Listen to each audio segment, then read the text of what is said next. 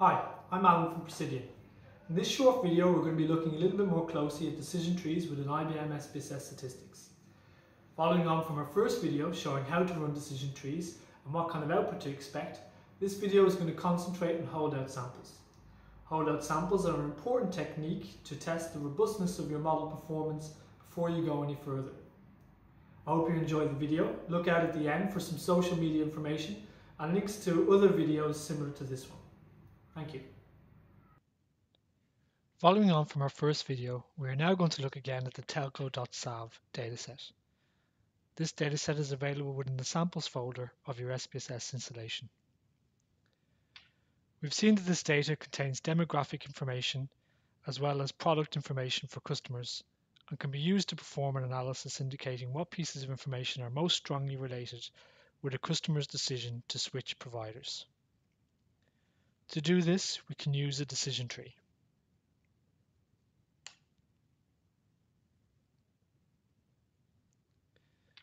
This time in performing the analysis, we want to make sure that if there are to use this analysis to make predictions for current customers, that we do so as reliably as possible. A great way to test the future performance of your analysis is to conduct a blind test. This is also known as a holdout sample. We reserve a chunk of data, for example 30%, that will be used only for testing how well our model performs. If the model performance is very different between the data used to create the model and the held back data used to test the model, then we lose confidence in how well the model will perform for new customers. In this case, the model may be too simple or may be overfit. Generally speaking, we would like to see a similar performance level for both the training data and the testing data. To run this, we can use the split sample validation procedure specifying a 70% training data sample, which gives us a 30% testing data sample. An alternative technique is cross-validation, where the data is split, split into groups, say 10 groups, and 10 decision trees are created, each leaving a different 10% out as testing data. The final results are then aggregated to give a final decision tree.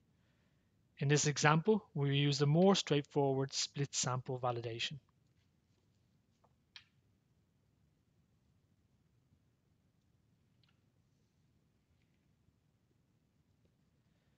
Upon running the procedure, we can see that two decision trees are created, one for the training sample and another for the testing sample. These can be reviewed in the usual way to identify the most important factors influencing a customer's decision to switch providers. Here we can see the most important piece of information is the months with service. And depending on whether they've had a small number of months with service or a large number of months with service, we can see a differing proportion that are likely to switch providers versus those that are not.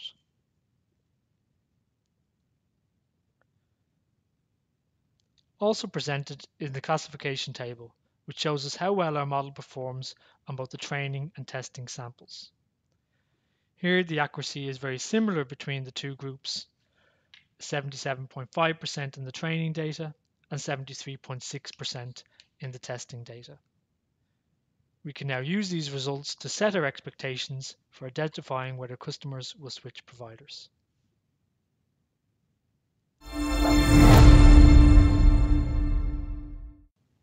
Thank you for watching this video. You can find more information, videos and other resources on our website.